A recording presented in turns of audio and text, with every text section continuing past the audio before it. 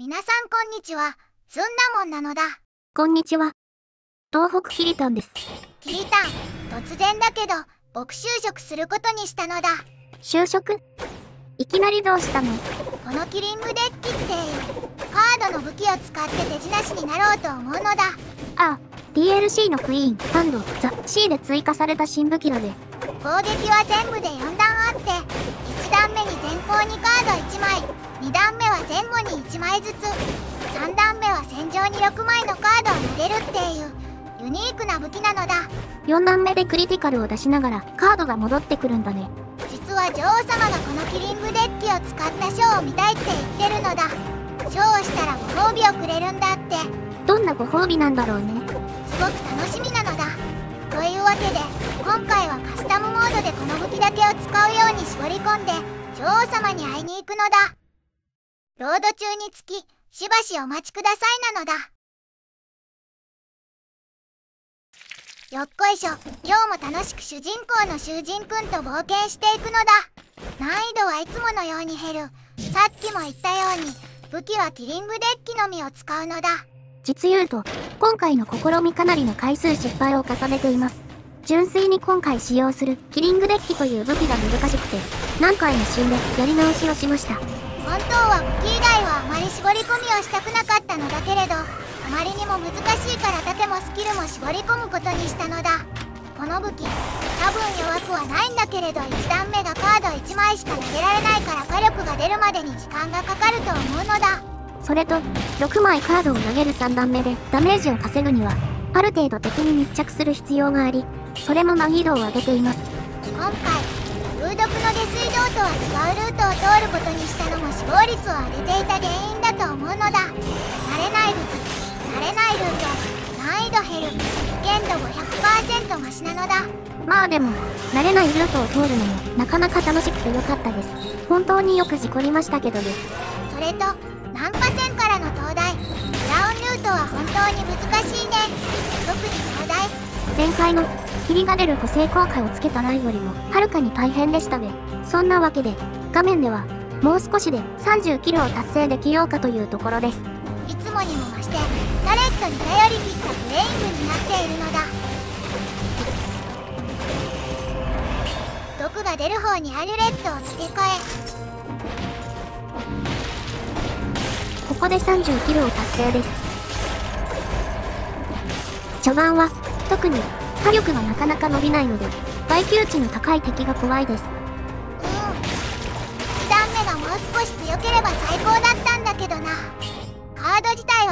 遠くまで飛ぶから引き打ちで対処できなくもないんだけどね30キルは達成できましたが、まだまだ敵の気配がします。引き続き敵を処理していきましょう。おやつが出たのだまだ売却せず取っておくのだ少し倍速していくのだ射石興奮、いい火力をしているので安心感があります。キリングデッキのメイン火力は3段目なので、いい具合に補ってくれる気がします。個人的に今回使っている武器についているやだまが爆発して毒ガスが出るっていう補正効果大好きなのだ音速銃あたりにつくととても楽しいし他の遠距離武器についても火力の底上げになるのだ蛇の毒画で、トレーニングルームの収集者倒したりしましたし、毒武器は好きです。別に、色がずんだに似ているからじゃないですよ。そういえば毒武器といえばブローガンも大好きなのだどこかでブローガン使ったランもやってみたいなと思ってるのだ戦術ビルドばかり使っているので、一回くらい生存ビルドもやっておきたいところではあるのですが。探索者の本能が発動。大体終わりましたかね。最終的に両国なのに60キル超えたのだ敵増量したのだ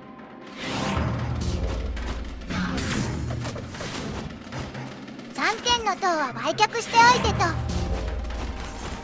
罪人の道へ罪人の道は、難易度ヘルを攻略するようになってからは、ほとんど足を運んだことのないステージでした。60キル報酬は、藤壺くんをもらっておきましょう。高難易度での罪人の道はプロテクターが本当に嫌で閉閉していたところがあるのだプロテクターそんな範囲の敵までバリア張るの？ってくらい？バリアの範囲が広く感じるのだトゲの床や鉄球も地味に嫌なステージです。心して挑みましょう。変異は大好きなアルマジロパックを取りました。アルマジロパックがあれば少しは安心なのだボンバルディアの爆弾がローリングで処理できるからねプロテクターが早速嫌な感じに仕事をしてくれているのだバリアが邪魔すぎますよ。本当はもっと密着すべきなのでしょうけれど、ビビって離れたところからカード投げてます。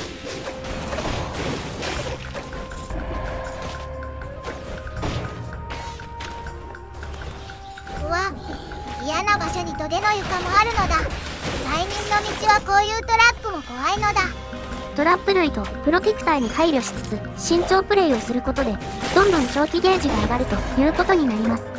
地獄感はありますがたまには違うステージを攻略しないと気分転換にならないので頑張っちゃいます。エレベーターでした。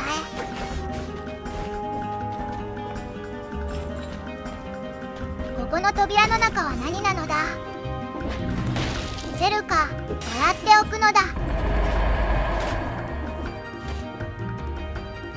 下に降りていきまして。そして転移した先にあるのはスキル屋さんでしたね。テスラコイルくん更新しときますか。地上に戻るのだ。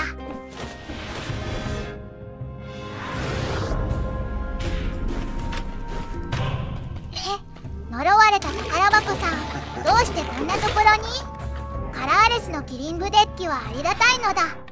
さて腕の床に注意しながら呪いを解除しなくちゃなのだ。防壁先生交換しときましょう。焦らず慎重に。ここで牢獄送りになったらシャレになりませんからね。本当に土下の床が心臓に悪いです。落ちちゃダメです。無事に越えられたから悲惨を処して呪いを解除していくのだいやマジでプロテクターのバリア範囲広すぎるのだ。壊れるがいいのだ。左上の敵に対処して呪いカウント減らしていきます。テスラコイルくんと藤壺くんが敵艦を掃除してくれました。えらいえらい。呪いは残りカウント1です。スキルのリロードも終わったしエリートのボンバルディア倒すのだ。呪いの解除に成功して一安心なのだ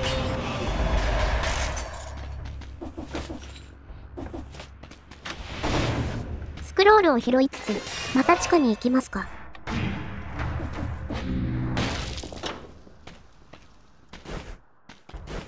扉の中は何でしょう宝箱の中身は拒絶の波動ですね。今回は売却。武器屋さん発見なのだあまり変わらないかなとも思うけど買い替えちゃうのだ地上に戻りましょう。扉の数が多いので、地味にマップが広く感じられますね。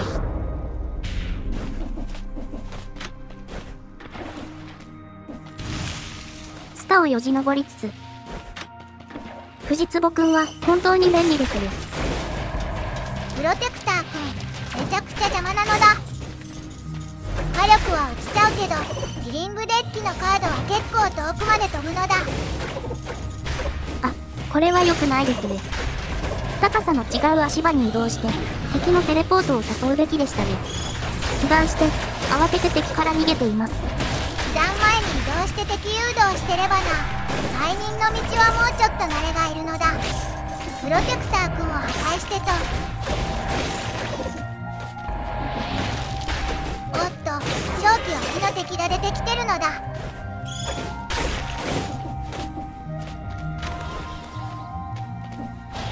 また地下に行きます。おっと、敵さんですか。処理していきましょう。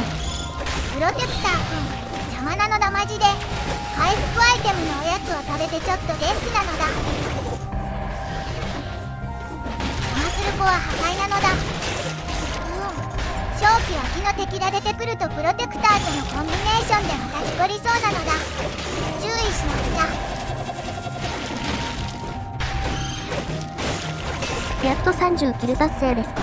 罪人の道は敵がいっぱい出るので、60キルはまだ狙えますかね。トゲの床に落ちないよう慎重に。罪人の道扉の数が多いね本当に宝箱の中身はナイフダンスか今回は売却で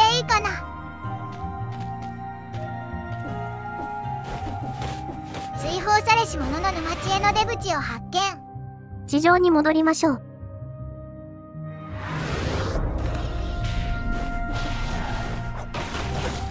正気脇の敵艦を処理しつつ、これは上から行きましょうかね。よいしょよいしょう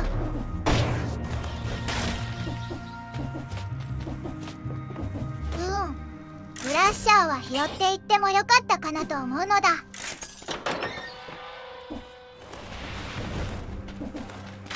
やっぱり火力を底上げする変異まだつけてない。し遠い。ところからカード投げてもなかなか敵が削れないのだ少々似たような展開が続くので、この辺りから倍速してい。きます。やっぱり、手とい。うものはなかなか抜けない。もので、いつも使ってい。る弓のように遠くからカード投げてますが、ちゃんと近くからカードをいっぱい打てるようにしない。とダメですね。時間がかかって消費ゲージも上がってしまい。ます。プロテクター君がとにかく邪魔なのだ。その一言に尽きるのだ。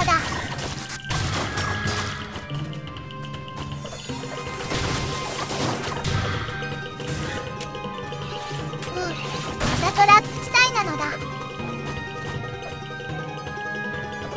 気をつけて通過するのだ。ここで60キルを達成。正気脇の敵艦を処しつつ、近い。と怖い。ここは引きましょう。順番に敵を片付けていきましょう。ほ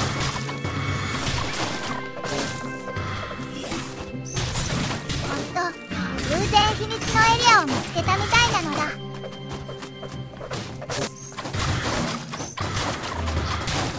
扉に入る前にエリートに対処していくのだ水場はテスラコイル君の独壇場なのだこの辺りからまた盗賊です。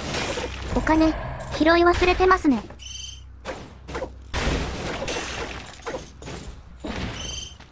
ここで正気が消滅。いや、3メモリ弱も残っちゃいましたか。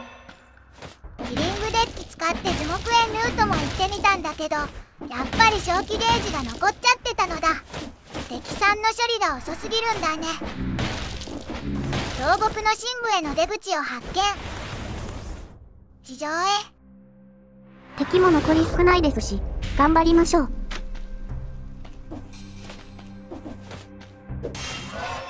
もう、そろそろ、ゴールのボタン付きの扉が見えてくるはずなのですが。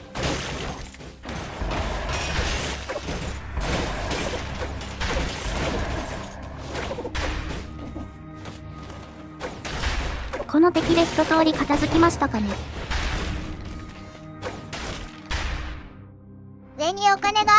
首を伸ばして取っちゃうのだ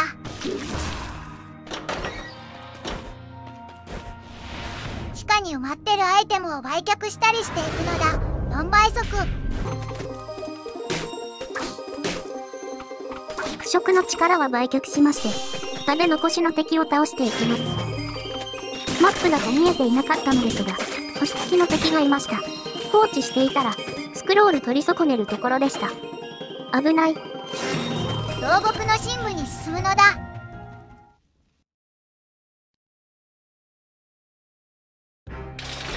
60キル報酬を確認していくのだ防壁先生を更新します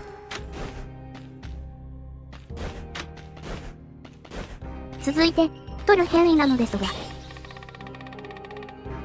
至近距離射撃を取ります。火力の底上げに期待です。牢獄の深部に参りましょう。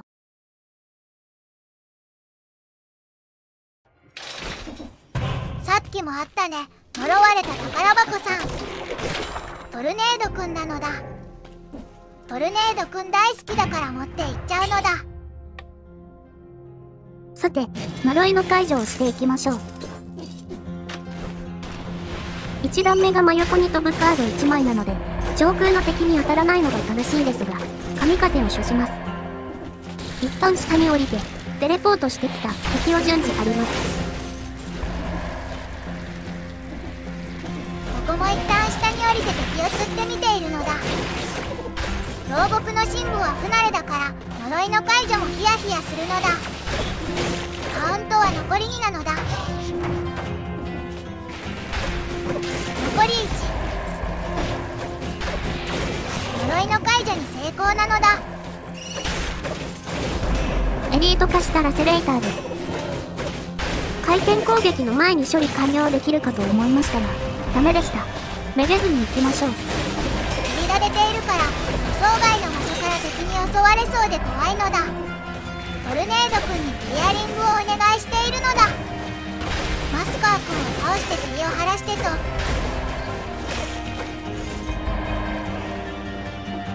ラッシャー君地味に耐久値が高くて怖いのだ予想外の場所に潜んでいるナイフスロバー君にご注意していきましょう。至近距離射撃をつけたことで、火力が向上したような気がします。やっぱり、霧で敵が見えないのは怖いですね。ですらコイル君スラッシャー君の処理頼んだのだよしよし慎重プレイで正気ゲージがものすごい勢いで上がるけど質よりマシなのだおやつもぐもぐ美味しいのだおっとっと大死退避テスラコイル君は、本当に頼りになります。ありがたいです。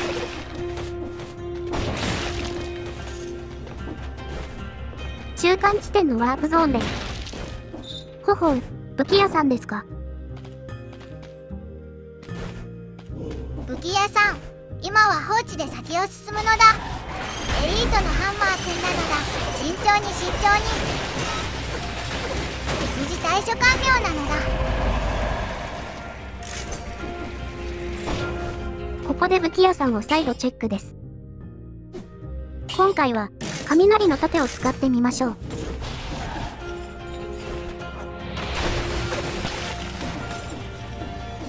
正気は機能オートマトンです。パリーしようとして失敗して被弾してますね。オートマトンはともかくなんかやっぱり腐敗した牢獄に比べて不慣れな感じが否めないのだ調べたら牢獄の深部に来た回数腐敗した牢獄の20分の1くらいだったのだスラマーと毒気が嫌な人はこっちに来ることの方が多そうだけれどね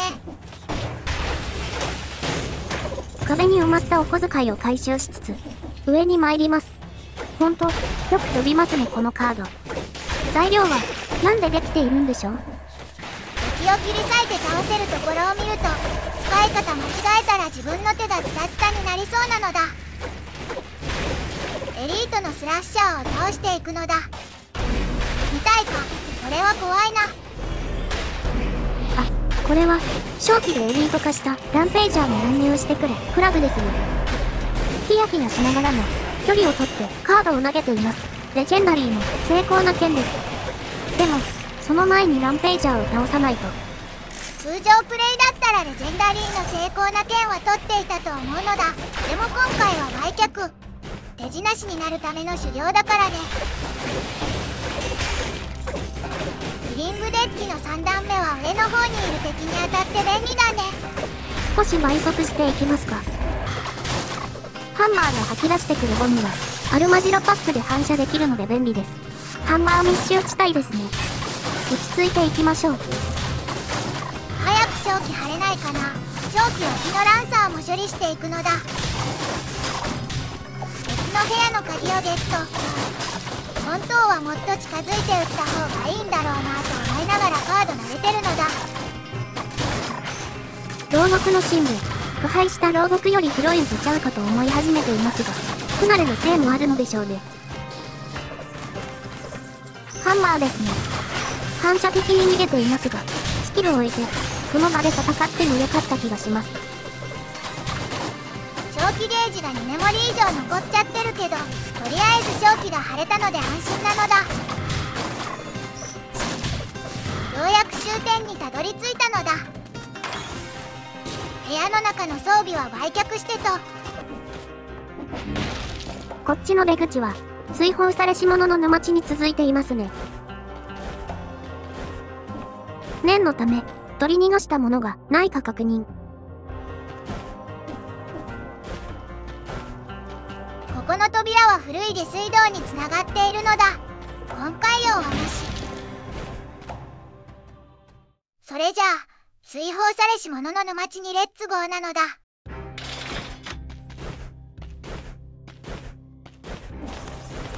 扉が開かなくて、変異取り忘れてることに気がついています。トゲ付きの矢尻を取得して、沼地へ向かいます。